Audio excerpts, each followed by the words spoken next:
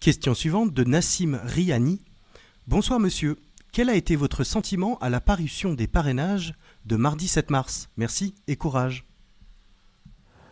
Euh, alors, euh, mardi 7 mars, c'était euh, c'était hier. Entre-temps, il y avait eu vendredi, vendredi précédent, le vendredi 3 mars, qui avait été un coup de Trafalgar. Voilà. En fait, il y a un problème au Conseil constitutionnel. Le problème du Conseil constitutionnel, je ne sais pas si c'est la désorganisation, si c'est l'imprévoyance, parce que c'est sûr qu'il voit arriver en quelques jours, en quelques heures, il doit, arriver des tombereaux de courriers. voilà, ils ont euh, validé plus de 7000 courriers, donc il y a 7000 lettres qu'il a fallu qu'ils ouvrent. S'ils ne sont pas armés pour ça, effectivement, il y a des effets de, de bouchons. En réalité, ce que devrait faire le Conseil constitutionnel dans le cadre de la procédure actuelle, qui par ailleurs est très contestable, ils auraient dû avoir normalement quatre chiffres par candidat. Ils auraient dû présenter à chaque fois le nombre de parrainages reçus par candidat. Première ligne. Deuxième ligne, le nombre de parrainages validés par candidat. Troisième ligne, le nombre de parrainages reçus mais non encore validés, c'est-à-dire en cours d'instruction. Et quatrième ligne, le nombre de parrainages invalidés. De telle sorte que les lignes 2, 3 et 4 auraient correspondu, le total aurait fait la ligne numéro 1.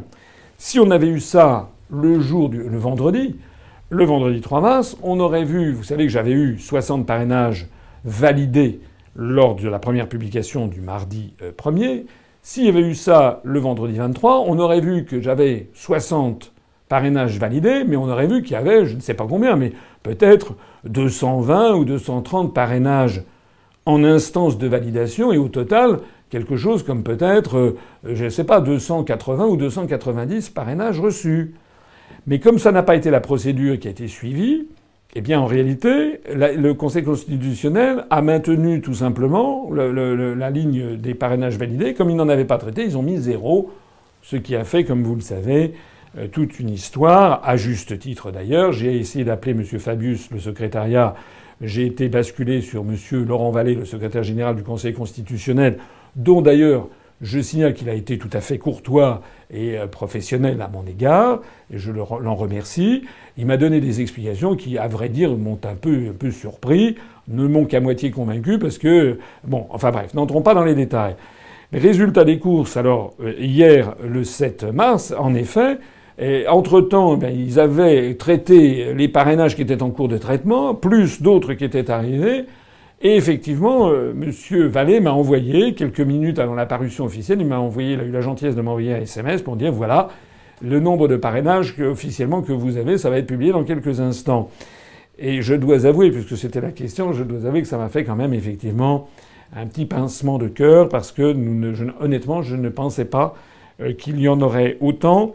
Euh, pour une raison simple, c'est que ben, nous avions un peu anticipé de ce que nous pensions savoir être les dates d'envoi des, maires.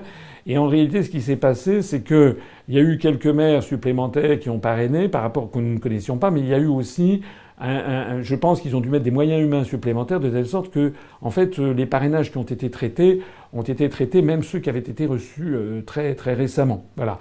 Par exemple, j'avais appris quelques heures auparavant euh, qu'il y avait un parrainage qui avait été euh, signé, un parrainage officiel qui avait été signé à l'autre bout du monde par le maire de Tours en Nouvelle-Calédonie euh, et qui figure dans cette liste, c'est-à-dire qu'en fait, en l'espace de quelques heures, le parrainage était arrivé au, Haut Commissariat de la République à Nouméa. Et là, pour l'outre-mer, il y a un traitement spécial, c'est que le Haut Commissariat à Nouméa ou à Papeete pour la Polynésie française envoie par, par scan au Conseil constitutionnel. Voilà. Donc ils ont fait leurs efforts pour essayer d'écluser le maximum de parrainage, donc je les en remercie. Euh, j'ai eu un pincement de cœur. Euh, ça m'a fait, euh, à vrai dire, j'ai même voilà, légèrement, légèrement eu à voir les yeux qui m'ont légèrement picoté.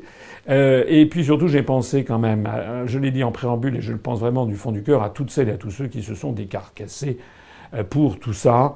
Et puis un petit peu, si vous me le permettez, un petit peu à moi, parce que ça fait quand même dix ans d'efforts, dix ans d'efforts qui sont ainsi récompensés. Alors, on n'a pas encore franchi la barre.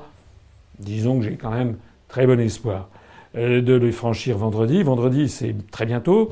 Vendredi, c'est à 11h qu'il y aura l'annonce de la nouvelle publication, la quatrième publication.